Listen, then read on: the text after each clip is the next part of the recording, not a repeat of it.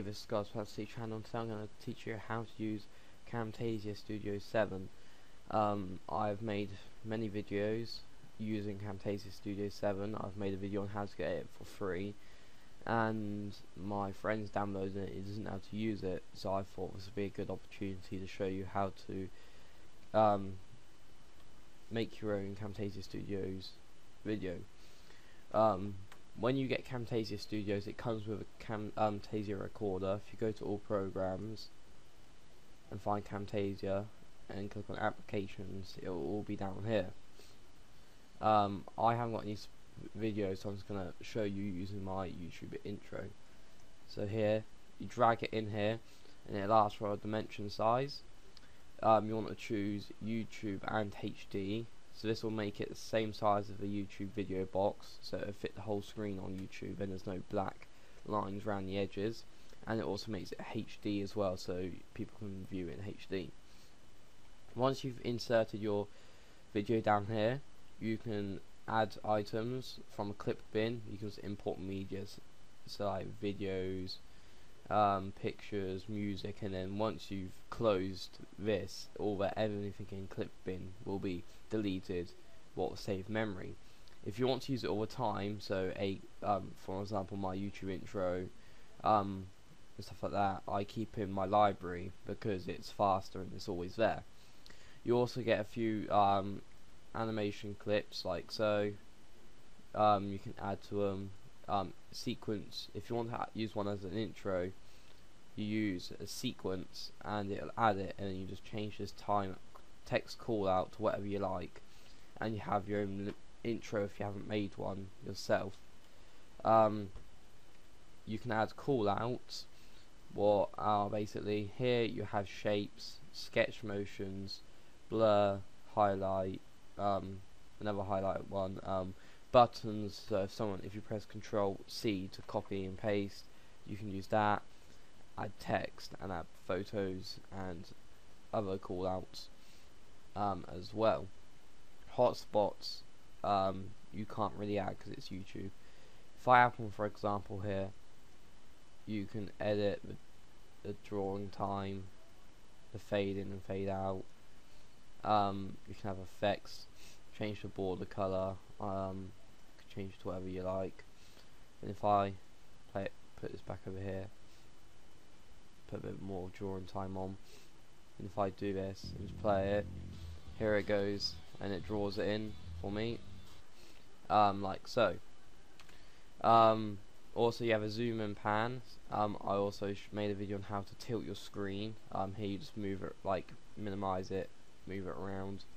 It may take a bit of time to update this screen over here but of course um, you can play it and it should update basically. Um, and it's been a little freezy for me once you've done that you can add a tilt. If you turn this um, make sure advanced is like this. It'll be like that if you click this. You can add a tilt effects from this side to the other side. You don't have to go all the way. You can go partially so it doesn't tilt as much. Um, I've basically cancelled out my tilt effects. That's what it would look like and I've just cancelled it out. Um, like so. You can add um, you can edit the audio by doing the audio down and up like so you can also edit for fade out and fade in.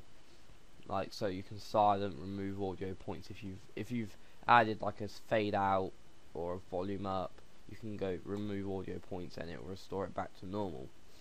You can add transactions what you need to have two clips what I don't have but you can um but yeah. Um here you have your zooming tool to help you edit more. Here you have your snip so you can click there click that and it will separate the two sections. So you then you can delete the second half if you like. There's an undo button redo and then you've got all your little tools over here as well. You have more effects like cursor effects. Um, it won't let me do cursor effects because I got a customized cursor.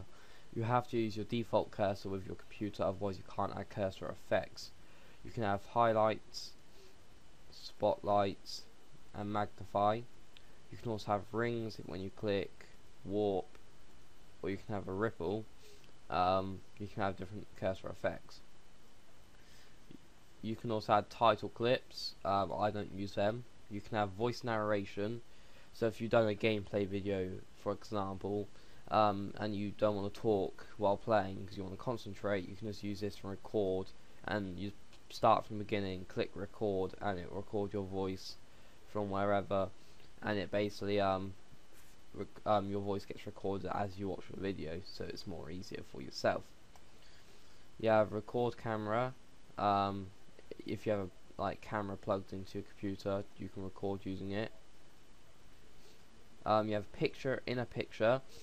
This, yeah, is what people normally use to add like a little corner picture saying um, what I've got a spinning SMP symbol. If I quickly add that in, add the timeline.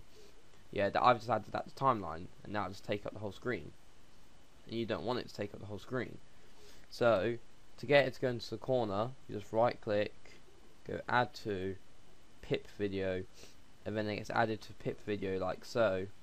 Like, it's like added like a another video but it's on a different timeline then you can just minimize this to the corner like so and then you have what you need it for.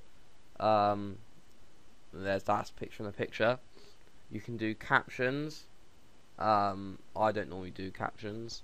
And you can also do quizzing what ain't really for YouTube it's more for like um, if you're making a website with um, interactive positions and YouTube won't allow you to do interactive stuff. So the quizzing won't really work. Once you've made your video you can um, go produce and share. Here it'll say web and it'll say YouTube and stuff but don't bother doing that because one it takes twice as long and the quality isn't as good. When you convert it click HD um, if you're making it for an iPhone or an iPad or an iPod, then you can do either of these.